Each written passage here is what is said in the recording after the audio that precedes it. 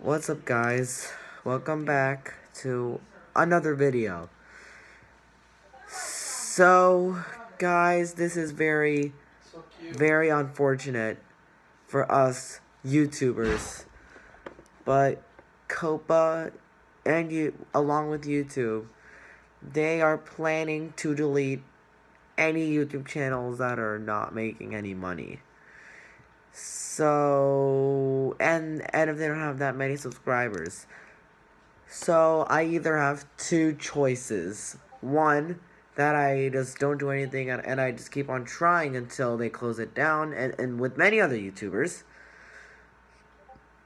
Or two, I'm just gonna just like pay for ads so that I can get money and that I can get more subscribers.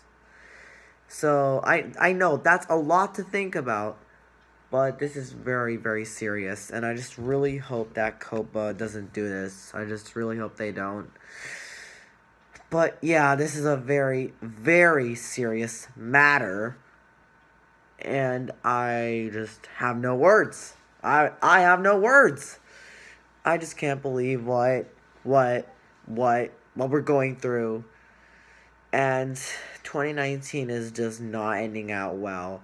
It started out great, but it is not ending out well. So yeah, guys, I just I just really hope that they don't do this cuz it would be very it's it's it's not just sad. It's just heartbreaking. It is heartbreaking to see COPPA do this to us. I mean, it is, because, I mean, look at where I am now. I mean, like, I have 100 subscribers, and I'm doing well.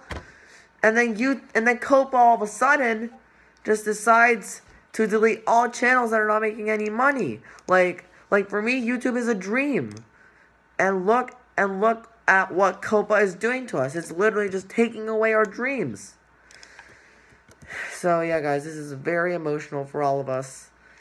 So, I'm just going to try everything I can to make sure that my YouTube channel will survive and that the channels of others will survive. Alright, guys, well, I'm going to end it here, and I'll see you guys in the next one.